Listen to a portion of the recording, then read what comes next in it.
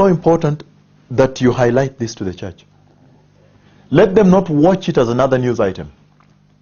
Oh, Mississippi River has exploded again. Oh, uh, the earthquake in Greece again. Oh, now, now again, war in Kenya. Oh, now famine has come. Let me tell you, in a twinkling of an eye, in a flash, the rapture will take place. Because he jumped from there and said, and you will be handed over to be persecuted and put to death. That is the tribulation. Isaiah chapter 26, I'm reading verses 19 to 21. It says, But your dead will live, their bodies will rise. Hallelujah. You who dwell in the dust, wake up and shout for joy. In the dust because they are asleep. When Lazarus died, and they told him, Lord, but he has died. It's four days. That place is stinking now, it's smelling. He said, No, he is not dead. He is asleep. Hallelujah. So, those who are under the dust of the earth, according to the Lord, they are not dead. They are asleep. Because all of them must be woken up. But your dead will live, their bodies will rise. You who dwell in the dust, wake up and shout for joy. Why should they shout for joy? Look at the next uh, subsection. Your dew, he says, your dew is like the dew of the morning. The earth will give birth to her dead. And he says, Go, comma, my people, comma, enter your rooms. I don't know which version you're reading, but I'm reading from NIV. NIV says, Go, comma, my people, comma, enter your rooms and shut the doors behind you. I'm talking about the door to rapture, okay? And he says, Hide yourselves for a little while until his wrath has passed by. See, the Lord is coming out of his dwelling to punish the people of the earth for their sins. The earth will disclose the blood shed upon her, and she will conceal her slain no longer. You see that? I want to end there. How does this relate to the door to rapture? When the Lord showed this vision of the rapture to Isaiah,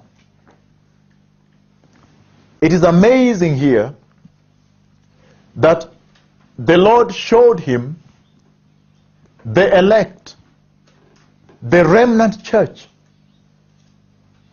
that was going to be taken away through the door to rapture and the door would close. You see that? Hallelujah? And then, after that, the wrath of God would consume the four ends of the earth. That is the tribulation. And he says, You who are asleep in the dust of the earth, wake up. Levantate in Spanish. Wake up and shout for joy. Why? Because your dew has arrived. Hmm? At first, when the Lord spoke with me about the door to rapture, and he navigated me this scripture, I did not understand. Because I was looking at all the doors he has opened. When the rings were being lowered in the sky, he opened the door and the glory came out. When the, the clock was being lowered, he opened the door and the glory came out, then the clock. When the, the temple of God opened the door, glory came out, and then I saw the temple.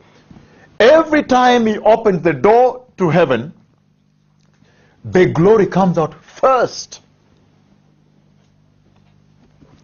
That's why Isaiah saw the same thing. He said, Shout, wake up and shout, for your morning dew has come. That is the latter anointing of God. Hallelujah. That is the Holy Spirit that comes in the latter anointing to purge the church, to purify the church, to cleanse sin from the church, because only the holy ones will enter. Only the radiant church, the glorious church will enter, by the way. By the way.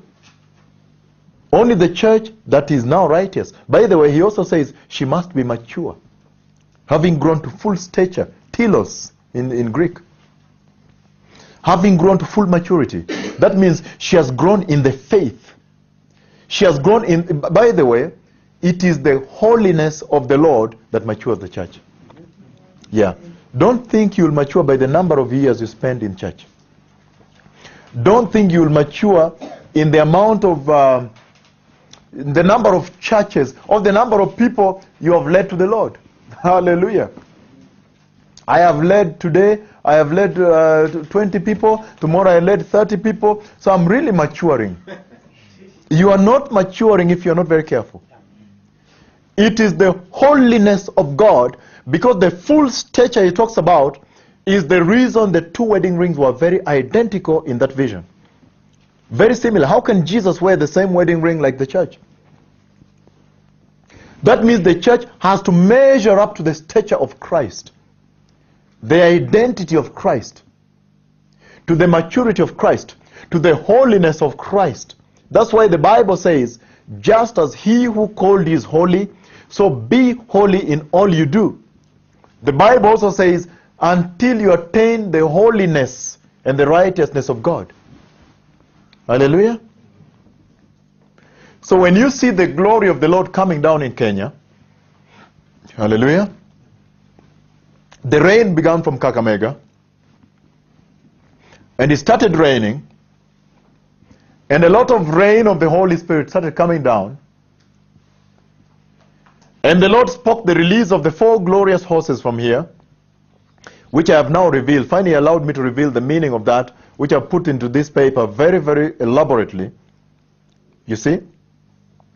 Talking about the four glorious gospels that are in the Bible, telling the pastors that as you preach the Bible, anchor yourself on the four glorious gospels as you preach the entire Bible. Anchor yourself. You understand? which means root your foundation on the four glorious gospels. You see that? And the word that cometh forth from your mouth will reach the four ends of the earth. You see that? And will clean up the church. Don't teach from other books. The church has been teaching on, on other books.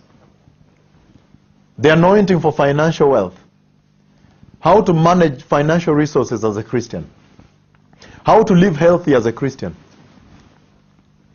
The church has been teaching the gospel of the flesh, the world, earthly gospel, outer court. You know, there was the outer court and the inner court.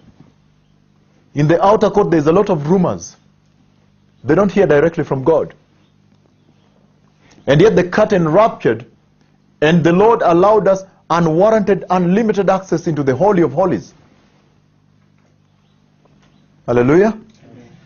And so Jehovah is saying that this door that he showed Isaiah, Isaiah saw when the elect were rushing into this door and the shutting of the door for the wrath of God to pass.